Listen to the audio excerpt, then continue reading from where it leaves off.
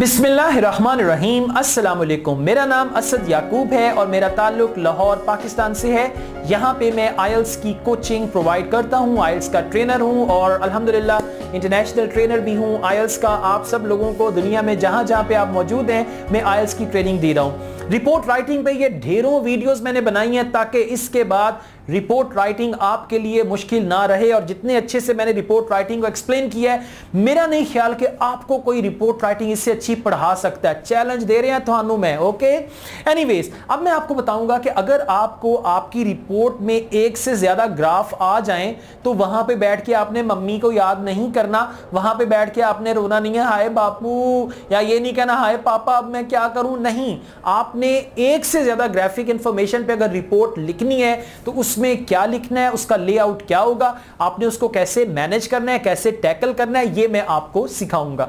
ठीक हो गया? बस का पता है क्या होता है? वो आपको एक बार चार्ट दे देते हैं और साथ ही एक पाई चार्ट दे देते हैं। बार चार्ट भी आ गया पाई चार्ट भी आ गया। उसके बाद आपको उस पर रिपोर्ट लिखना होती तो अक्सर लोग घबरा जाते हैं कि अच्छा ये दो अलग अलग रिपोर्ट्स लिखनी है या इकट्ठी लिखनी है, पहले क्या आएगा, बाद में क्या आएगा?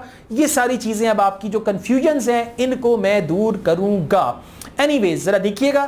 Often in task 1, you will need to write about the information presented in two or even three charts. तीन भी हो सकते हैं। दो भी हो सकते हैं तीन भी हो सकते हैं। This could be two bar charts a line graph and a table अब उसमें क्या हो सकता है? दो बार चार्ट हो सकते हैं या फिर एक बार चार्ट एक लाइन ग्राफ हो सकता है या फिर लाइन ग्राफ के साथ टेबल हो सकता है a pie chart and a bar chart और एनी अदर कॉम्बिनेशन कोई भी और कॉम्बिनेशन भी हो सकता है। Bar chart pie chart combination line graph उसके साथ भी आपको पाई चार्ट आ सकता है राइट उसके बाद कोई टेबल आ सकता है, यानी ये कॉम्बिनेशन किसी भी तरह का हो सकता है। आपने ये देखना है कि इस पर रिपोर्ट लिखनी कैसी है राइट अच्छा जी, अब आपने क्या करना है? आपने ये चीज़ें जहन में रखनी। अब ये टास्क वन का एक मैं आपको क्वेश्चन दिखा रहा हूँ। इस क्वेश्चन को गौर से देखें और फिर सोचें कि आप इस पे किस तरह से आंसर लिखेंगे। सबसे पहले मैं आपको कुछ टाइम देता हूँ, जरा देखिएगा इस ग्राफिक को। इसमें दिया हुआ है The charts below show the most popular film by genre for men and women. यानी मर्द और औरतों के दरमियान बाय टाइप किस्म के मुताबिक जो मूवीज़ पॉपुलर हैं, उनके बारे में and general ticket sale of different types of film in the USA in 2010 right right? कि औरतों और मर्दों में किस किस्म की मूवीज़ पॉपुलर हैं बार चार्ट जो है उसके बारे में है, और उसकी जो टिकट्स हैं बॉक्स ऑफ़िस पे जो बिकती हैं, उसके बारे में। Summarise the information by selecting and reporting the main features and make comparisons where relevant अब देखें बार चार्ट में आपको मेन और विमेन दिया हुआ है दोनों के बारे में ज़ीरो से लेकर 45 तक है। मूवीज़ की जॉनर क्या क्या है? It's actually action comedy thriller then we got science fiction western and romantic comedy और मेन और वेमेन उनका आपस में कंपैरिजन है। एक तो ये हो गया बार चार्ट दूसरा क्या है? बॉक्स ऑफ़िस पे जो उसकी टिकटिंग है 2010 की, यानी जो टेकिंग्स है या टिकटिंग है, उसके बारे में है कि एक्शन मूवी कितनी बिकी, कितने परसेंट बिकी कॉमेडी मूवीज़ की टिकट्स कितनी बिकी रोमांटिक कॉमेडी की कितनी थ्रिलर की कितनी और दूसरी मूवीज़ की टिकट्स कितनी बिकी। अब आपने इनको एक्सप्लेन करना है। अब इसके लिए सबसे पहले आपने ये देखना है what would you write in the introduction कि आप इसके इंट्रोडक्शन में क्या लिखेंगे? डेफिनेटली आपने इन दोनों के बारे में लिखना है। यानी जैसे आपने इंट्रोडक्शन बनाया था ना, एक का, इसी तरह से आपने दूसरे का भी इंट्रोडक्शन बनाना है तो दोनों को इकट्ठा ही आप अपने इंट्रोडक्शन में लिखेंगे।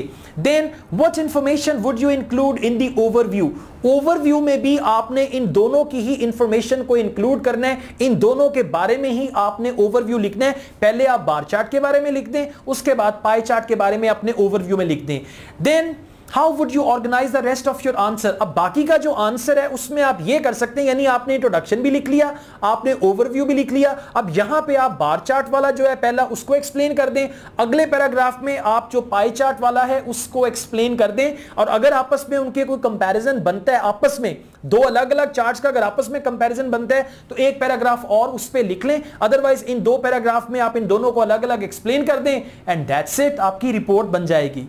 And would you have time to write about everything in detail नहीं, आपने हर चीज़ नहीं लिखनी। रिपोर्ट राइटिंग में पहले भी मैंने आपको बताया कि आपने सब कुछ नहीं लिखना। आपने इंपॉर्टेंट जो चीज़ें हैं, वो सबसे पहले तो ओवरव्यू बता दें कि मेन और वेमेन जो है, उनका, ये आपका जो बार चार्ट है, उनमें कौन कौन सी मूवीज़ पॉपुलर रही हैं थ्रू आउट ठीक है?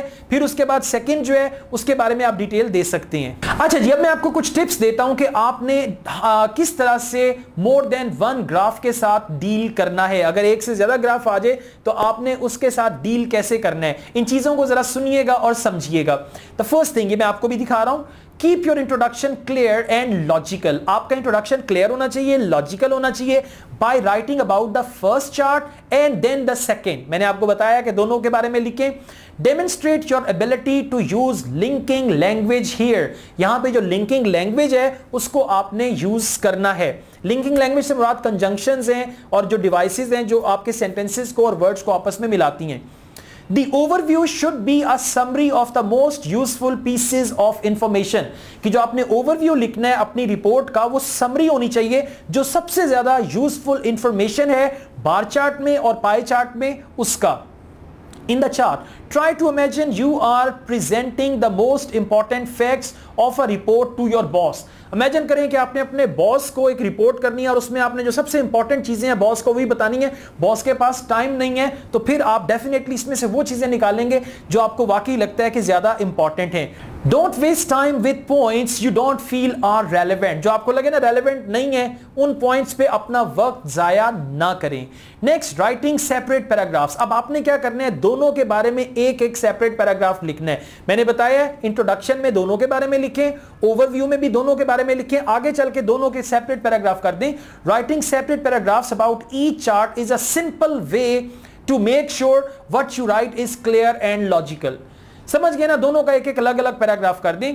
You can still score very well doing this ऐसा करके भी आपका बैंड स्कोर बहुत अच्छा आ सकता है। Okay if you try to mix everything together you may risk confusing yourself and the examiner अगर दोनों को इकट्ठा कर देते हैं खुद भी कंफ्यूज हो जाएंगे एग्जामिनर भी कंफ्यूज हो जाएगा तो बैंड स्कोर भी कंफ्यूज हो जाएगा। तीनों चीज़ें कंफ्यूज हो जाएँगी। सो so, आपने जो मैंने आपको लेआउट बताया है उसको फॉलो करते हुए आपने इस पे अलग अलग लिखना है। तो ये एक शॉर्ट वीडियो थी जिसमें मैंने आपको बताया how to deal with more than one graph अगर एक से ज़्यादा ग्राफ आ जाए तो घबराना नहीं है ये नहीं कहना उसको तो एक ग्राफ आया था मुझे दो आ गए। दो आ जाए कोई बात नहीं आपको मैंने तरीका बता दिया इस तरीके से आपने इस पे रिपोर्ट लिखनी है।